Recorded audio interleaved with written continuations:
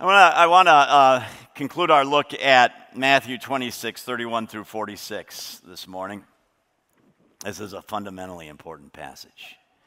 It's a passage that, that will ring in our ears one day when we are in the presence of Christ at the judgment. We will say, there will be a sense of deja vu. We'll say, We've heard this before. Jesus is going to separate all mankind, all the nations, so it's all mankind, to his right, to his right, or to his left. And the sheep will be on his right, the goats on his left. As a shepherd separates sheep and goats, but actually, he does say the sheep are on his right, and so he's referring to those who are loved as sheep and those who are rejected as goats. And, and the, the the explanation he gives of his judgment is an explanation that we all really very, very, very much need to take to heart. Hear and take to heart what is said in these verses. So stand with me, 31 through 46, Matthew 25. But when the Son of Man comes in his glory and all the angels with him, then he will sit on his glorious throne and all the nations will be gathered before him, and he will separate them from one another as the shepherd separates the sheep from the goats. And he will put the sheep on his right and the goats on his left. Then the king will say to those on his right, Come, you who are blessed of my Father, inherit the kingdom which has been prepared for you from the foundation of the world. For I was hungry, and you gave me something to eat. I was thirsty, and you gave me something to drink. I was a stranger, and you invited me in. Naked, and you clothed me. I was sick, and you visited me. I was in prison and you came to me. Then the righteous will answer him, saying, Lord, when did we see you hungry and feed you, or thirsty and give you something to drink? when did we see you a stranger and invite you in, or naked and clothe you? And when did we see you sick or in prison and come to you? then the king will answer and say to them, Truly I say to you, to the extent that you did it to one of these brothers of mine, even the least of them, you did it to me. He will say to those on his left, Depart from me, accursed ones, into the eternal fire which has been prepared for the devil and his angels. For I was hungry, and you gave me nothing to eat. I was thirsty, and you gave me nothing to drink. I was a stranger, and you did not invite me in, naked, and you did not clothe me, sick and in prison, and you did not visit me. Then they themselves also will answer, saying, Lord, when did we see you hungry or thirsty or stranger, or naked or sick or in prison, and did not take care of you? Then he will answer them, saying, Truly I say to you, to the extent that you did not do it to one of the least of these, you did not do it to me. And these will go away into eternal punishment, but the righteous into eternal life. The word of the Lord. Let's pray. Raise your arms with me and ask God to bless his word. Father, we pray that you will bless the reading and the speaking on your word. May my words be acceptable in your sight, my meditations be pleasing to you, Father, and may you grant your word the power to convict first me and then everyone in here. We pray in Jesus' name. Amen. you may be seated.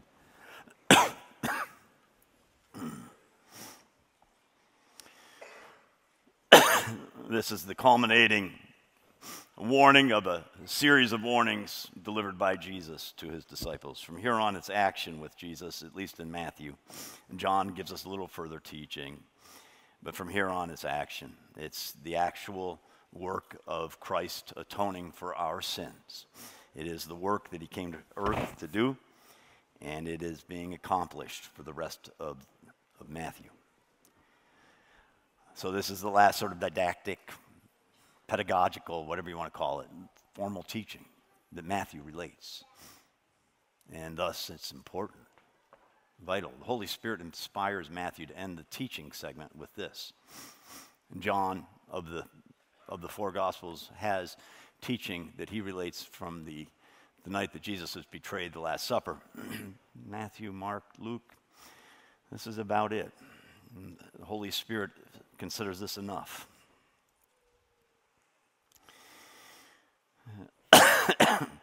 All this, everything that Matthew writes here is predicated on Jesus and what, what is following, what he came to do. There is a return of the Son of Man in glory, all the angels with him, all the nations will be gathered. He will judge The Father has given all judgment to him. He will judge.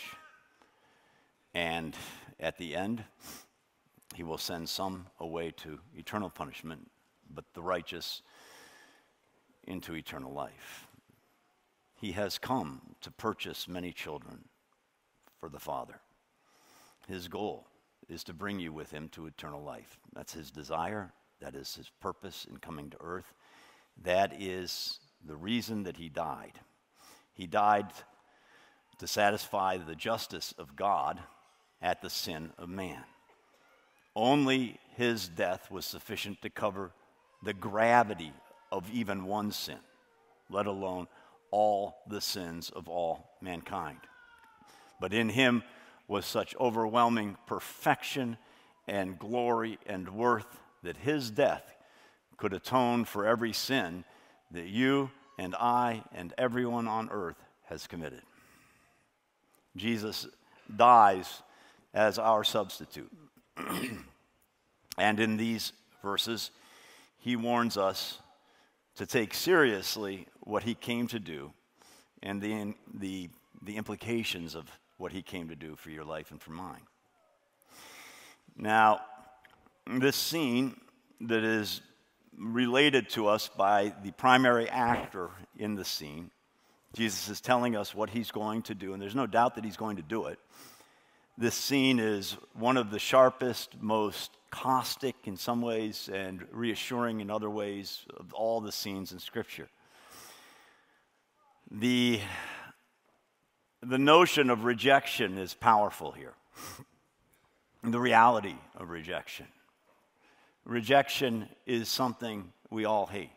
if you were a hemophiliac like me, you hated getting in line for the baseball team, but because you couldn't play baseball and weren't allowed to take risks, you know, you were the last one chosen for the team.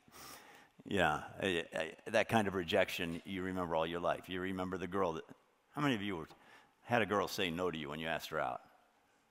And now, uh, 30 years later, you still remember it as sharply as you did that day, right? Am I right? You know? Rejection is a powerful thing. Rejection is powerful whether it's warranted or not. Some rejections are warranted, some are not. But Christ here is making very clear that there's coming a time when many, many, many men and women will be rejected. The most powerful, pivotal rejection the world has ever known or will ever know. God the Father, God the Son, God the Holy Spirit saying, We're done with you. Go for eternity to the place where I would have saved you from. It's not a rejection like the cool kids rejecting the uncool kids. It's a rejection of one who has done everything possible to save you, and you have turned your back on it.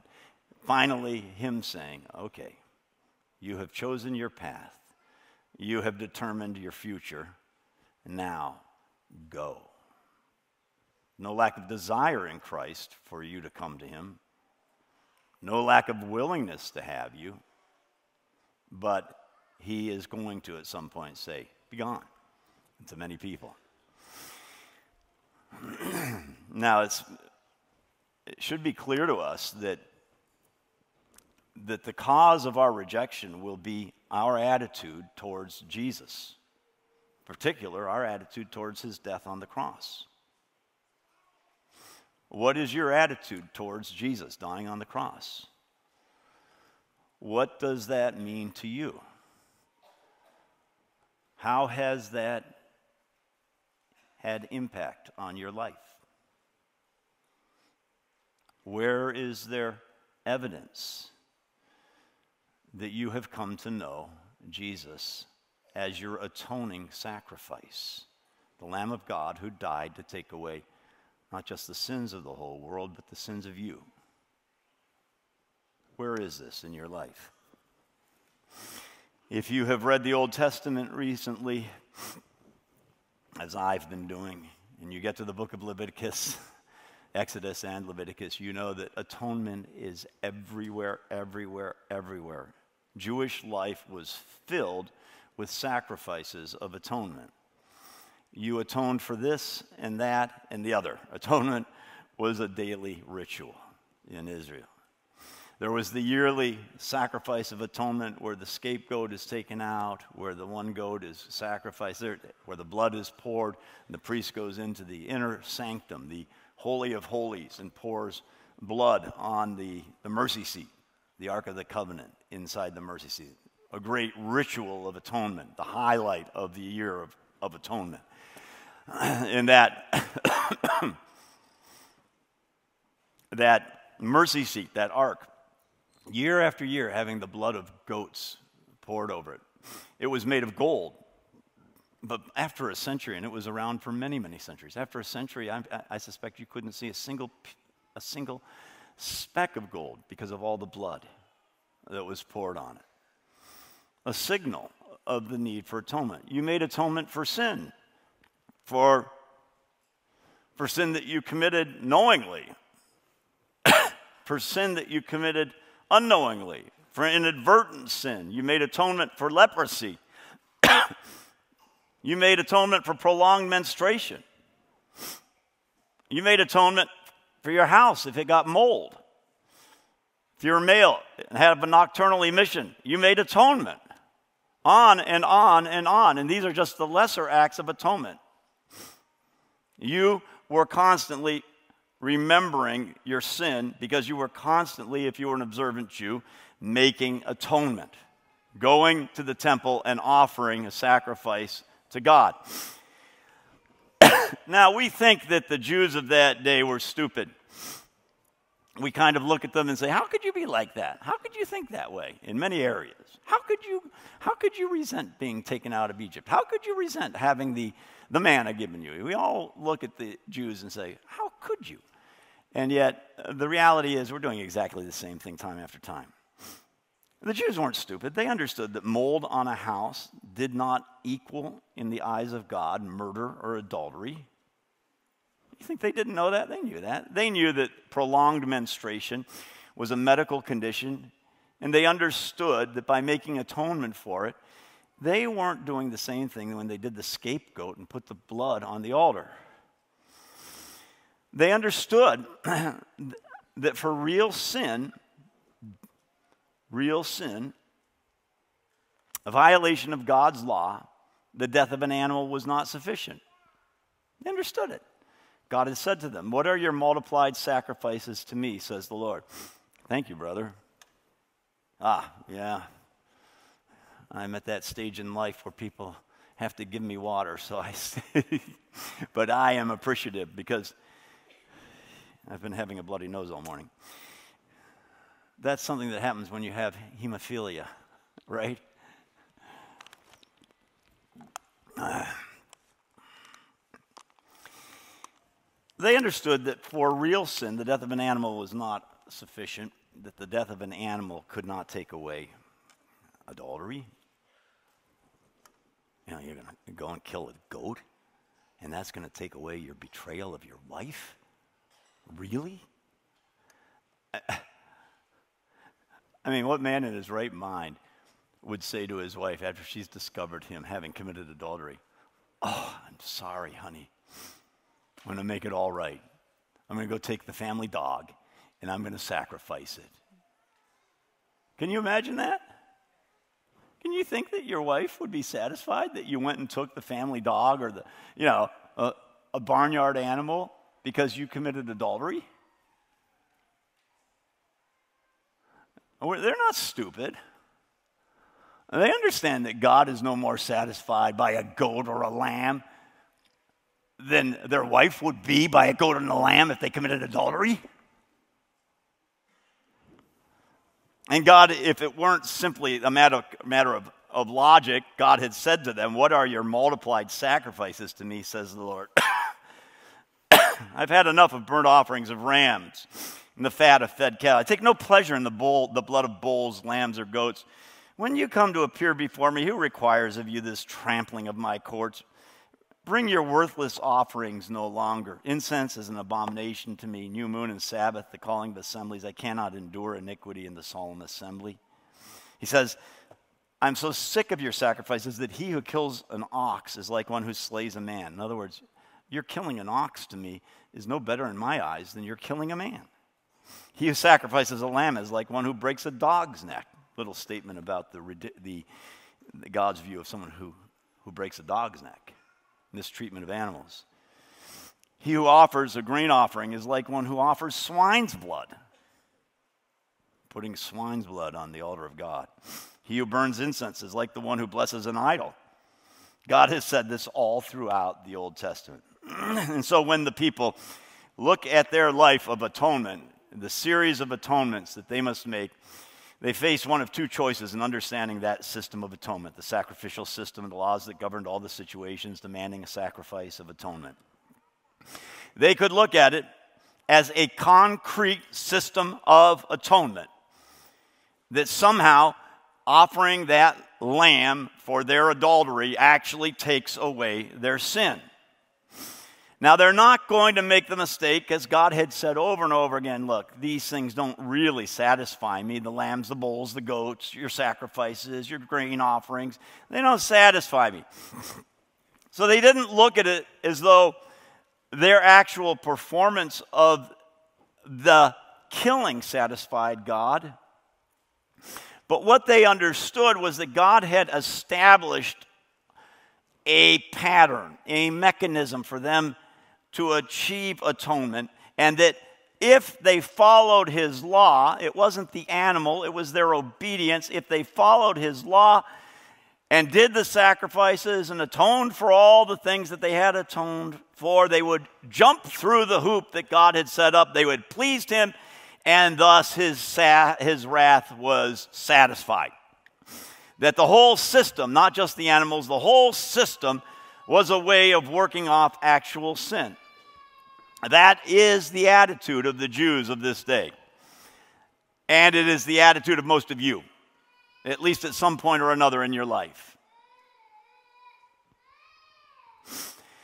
That doing the work and following the prescribed series of, of actions is what pleases God.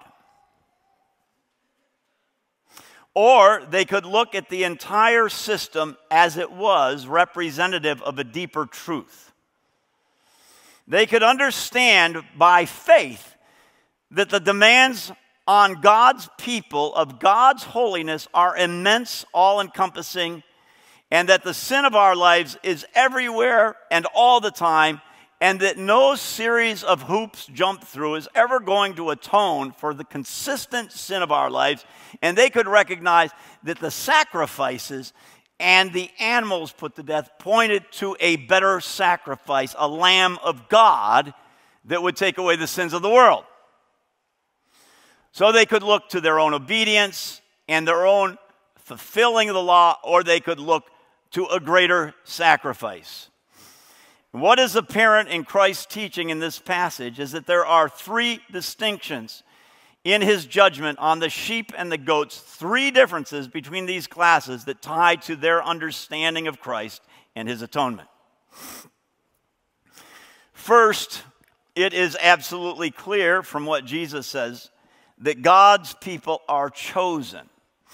They are set apart radically to be holy. They are distinct from everyone else. This is the entire message of cleansing and purity. At the end of Leviticus, God says, These are my rules because you are a people set apart to me and you are to be holy. And so you have things ranging from don't have sex with an animal, don't have sex with another, another man, don't have sex with your father's sister, and you have things like don't mix together flax and wool. Don't eat something that doesn't have both a cloven hoof and that chews the cud. Some of those sound to you really strong and obvious, and others sound to you foreign and, huh? But God is saying to the Jews, in every way in life, you are different. In every way, you're set apart from the way you clothe yourself to the circumcision of your bodies to the sacrifices you give, you're different. You're supposed to be visibly different. Different in a way that makes you my people. Here, Jesus turns the attention of his disciples, who he's warning that they not take for granted their salvation. He turns them to his, to his atoning death. He reminds them that in heaven, those who will be welcomed there are chosen people, and they must have lived as such. So we must take seriously what Jesus says initially to the two classes of people that are before him at the judgment the goats and the sheep. At the outset, Jesus will divide all mankind into two different groups at the outset of the judgment, right at the very beginning. Sheep on his right, goats on his left. And having separated mankind in this way, he issues judgment. Beginning with those on his right, to whom he says, Come, you who are blessed of my Father, inherit the kingdom which has been prepared for you from the foundation of the world. Now, note what Jesus says here. He says three things they are blessed of his Father, they are heirs of the kingdom, and as a result, they receive as their inheritance a kingdom prepared for them from the foundation of the world. Notice the blessing of the Father, the kingdom they receive. These things were prepared and designated for them before the foundation of the world. Before the very first day of creation, this blessing was prepared for that group on Christ's right. They are chosen. What else does Scripture say was accomplished before the foundation of the world? Revelation 13 8. All that dwell upon the earth shall worship him, Christ, whose names are not written in the book of the uh, life of the Lamb slain from the foundation. I, I'm sorry, Christ the Antichrist, whose names are not written in the, in the book of life of the Lamb slain from the foundation of the world. If their names are not written in the book of, the, of life of the Lamb who was slain from the foundation of the world, then they worship the Antichrist. Jesus, the Lamb of God, was crucified from the very day that God planned mankind in the world. It was no mistake. The sin in the garden was foreseen, the course of mankind was known, and Jesus died. He was crucified from the foundation of the world. Before the world came into being, the atonement of Christ for our sins and his substitution for us under the wrath of God was already a sealed deal, a done deal, an accomplished fact. Paul writes in Ephesians 1 3 through 8 Blessed be the God and Father of our Lord Jesus Christ, who has blessed us with every spiritual blessing in the heavenly places in Christ, just as he chose us in him before the foundation of the world, that we should be holy and blameless before him. Every sheep at Christ's right hand was chosen by God, and that before the foundation of the world. Every part of the plan of redemption was set in place by God before man was created. Jesus appointed the Lamb of God to die for the sins of man before Adam sinned. The names of God's chosen people written in the book of life from the foundation of the world. And this is not told us to make you fear, nor is it told you to make you think, well, I'm excluded. This is just heavenly reality. God chooses man. Jesus says to his disciples, You have not chosen me, but I have chosen you to bear fruit. And so I I call you to understand that God has chosen certain people. Now, this, of course, engenders fear in people at times, and they go, Well, what if I'm not chosen? What if I'm not in that group? The purpose of this fact that's established in Scripture and repeated over and over again is not to cast you out not to make you feel hopeless, but to make you understand that God has been thinking about you from the beginning of creation. No one knows whose names are in that book. Only God alone. No one knows whose name is in that book. Do I know that my name is in that book? Do you know? Do you know? Have you seen the book of the, of the Lamb, the book of life? Have you seen your name? It's opened in heaven. We don't know.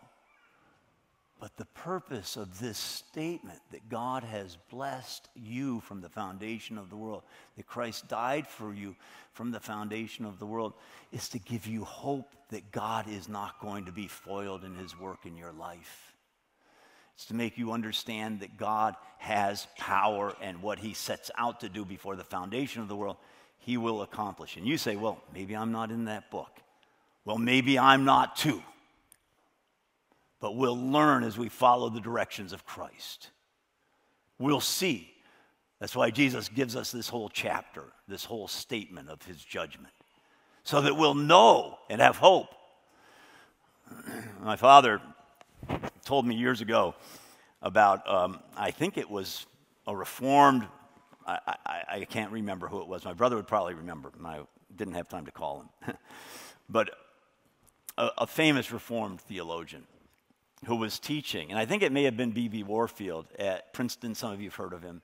You can't get more Calvinist than B.B. Warfield. But he was asked in a class by a student, What if on the judgment someone says, I wanted you, Jesus? Will he look in his book and say, Oh, no, your name is not here? he said something that's scandalous. But what he said is God is enough of a gentleman that if you say, I want in, he'll open his doors for you. Now, I know that doesn't sound Calvinist to you, does it? But this is the reality. You don't know whose name is in that book. What God has said to you is ask, seek, pursue and the gates of heaven will be open to you. It's not a statement that you're rejected, it's a statement from God saying, Come after me, seek it from me, ask for my son. This difference between the two groups is explicitly clear in their reaction to the judgment of Christ.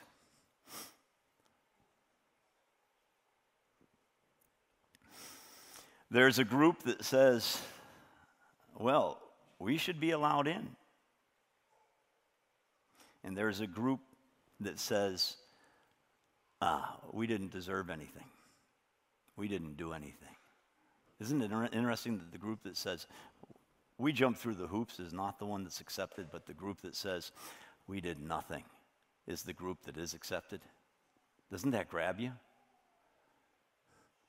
And it's a warning as well. Because we always are thinking, I've done a pretty good job. And the Bible's always saying to us, You've not been righteous. You need to look to Jesus. And so, not only are they distinct in their in the matter of their being chosen by God, they're being blessed before the foundation of the world. These two groups are different in their faith. The one group says, Christ, can you imagine standing before Jesus and he says, Come here and enter, enter into my Father's glory, enter into the, my joy. and you're standing there and you say, We've done nothing. And he says, I was hungry and you fed me. I was thirsty and you gave me. And I was in prison and you visited me. I was naked and you clothed me. And you're on this side and you go, this is the response of these people. They go, We didn't do anything. We didn't do anything. No, Jesus. We did nothing. You did it all. And we're not even going to claim anything. We did nothing. and that is faith in Jesus. We did nothing. Jesus, you did it all. On the other side, Jesus says, I was hungry, thirsty, I was in prison, I was naked, I was sick, and you didn't help me. What did they say? Lord, when did we see you and not do it? It's a statement of righteousness. We've done what you expected. We jumped through the hoops you put in front of us. We deserve to get in. The third difference, the second is faith. The first one is God's choice. The second is a very different faith. The one has faith in Jesus, the other has faith in themselves. The third difference between these two groups is this there's a different love. And they all share an understanding of the retributive nature of divine justice. No one on this day of judgment could view the sacrificial system and see it as anything other than an expression of true justice, God's justice. But the one group views their practice of the sacrificial system as enough to atone for their sins. The other looks at Jesus and says, This is the Lamb of God who died for me. This is my Savior. I love him. And out of that love for this Savior who died for me, this group says, I'm going to do things for people. I love God. I'm undeserving. I'm going to live for other people. And they do good works, not good works to merit God's pleasure. Good works because they've experienced the pleasure of God. They know the Son of God. They know the grace of God. They know that as he went to the cross, he told them, You did not choose me, but I chose you and appointed you that you would go and bear fruit and that your fruit would remain, so that whatever you ask of the Father in my name, he may give to you. This I command you, that you love one another. Jesus commands that you love. And on the day of judgment, we must recognize that what he's going to say is not, oh, your name's in my Father's book. That will be evident, all right? That will come out at some point. Nor does he say on that day, Oh my, you believed in me. No, on that day, everyone believes on him, right? There's no one on that day who doesn't believe in Jesus in the way that demons do, at least, which is that he is the Son of God and that he was sent as a sacrifice for man's sins. So they'll be united in that, but there will be a remaining distinction, and that is a love. The one group is going to be said, You showed love, you did things that were consistent with your faith in me, you loved other people, and I welcome you in. Jesus has said that you must love your brothers, that the sign that we are belonging to Him, that the world will know us by, is our love. Not our intellectual knowledge of Him, not our performance of many duties, but that we love one another.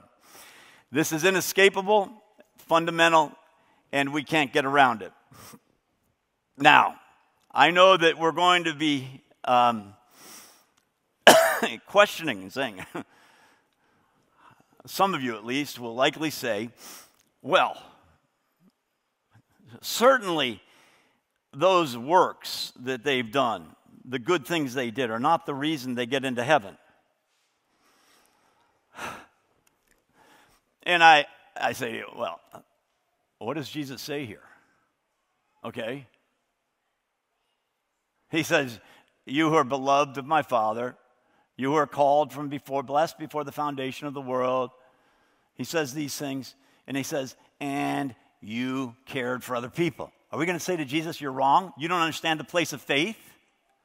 Jesus, you got it wrong. But how often does Jesus say, Obey me, obey me, obey me? Never having our obedience substitute for his death, never presenting our obedience as atoning for our sin. But if you think you can separate obedience from God from faith in God, you don't understand faith and you don't understand obedience.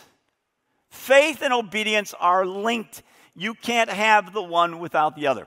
So I close by talking to you and saying, some of you don't know that you know God, and you're scared and you're afraid that He may have not chosen you.